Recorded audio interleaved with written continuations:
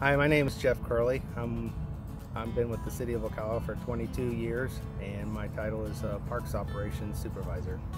We do we handle all the maintenance in all the parks, um, anywhere from playground maintenance to painting to uh, grounds maintenance. Um, pretty much anything that needs to be done in the parks, we, we handle that. Got a hard working crew. We uh, we got I got two guys right now. We're in process of hiring a third one. Um, so it's been very important. They've been, um, I have one employee who's been with us 21 years and his knowledge of all the parks has been a big help. And we got some new staff who bring a lot of new, new skills um, to the job. It adds a great quality of life for the people here at City of Ocala and for those who are moving here.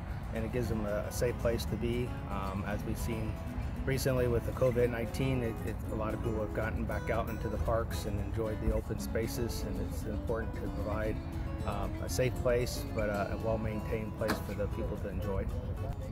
Uh, I just like the variety of it. We do anything from anywhere. I mean, like in during hurricane season, we could be sandbagging to storm cleaning up, to one day it could be painting to um, handling an emergency or anything like that. So it's just the, the variety of the job like the dog park that there we have it closed twice a week and part of that is to let the kind of the grass recover a little bit but it also gives us an opportunity to go in there and do some more um, maybe the heavier maintenance like having to bring dirt in or tree trim in or fence repair or anything like that so just having those days like that gives us an opportunity to uh, take care of those things without disrupting um, the patrons. I am Jeff Curley, I'm Recreation and Parks.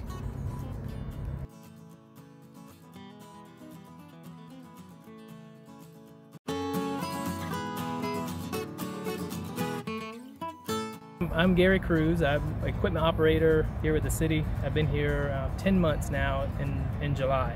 So, um, small equipment, heavy equipment stuff. Like today we're out spreading dirt. Um, just, you know, we jump in a dump truck and bring the dirt here and then uh, bring the equipment over later and spread it out, get it all flat, make it look good, ready for some grass or sod. You know, for me to, to jump in a, a piece of equipment and uh, run around you know, pushing dirt, moving trees, cutting trees. Um, it, it's almost like a, a kid in a, a, toy factory. You, know, you, you, get to get a different equipment every day, and um, that's enjoyable. It's not the same thing every day. You know, for us, we're doing the upkeep and the maintenance, but also um, adding some things. So that's like this area here. You know, they have the house, and they're going to be turning that into a, a new building to go with the fort here. Um, so that's kind of cool. It's cool to see the new stuff that comes to the city. So not only are we maintaining the old, but we're getting to build new stuff and you know leave something behind for later for people to see. The the planning that I see the management go through, um, you know, way in advance, trying to think through what they're going to build in the future or, or clean up or modify. Um, it, it, takes a long time and a lot of a lot of brains to sit around and talk about it. Because anybody can go make a plan and make it happen.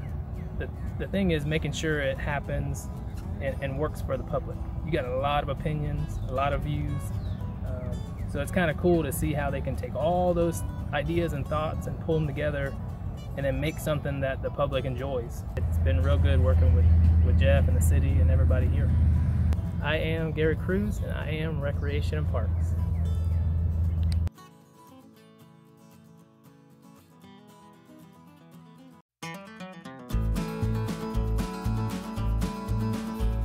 Okay, my name's Marty Lewis.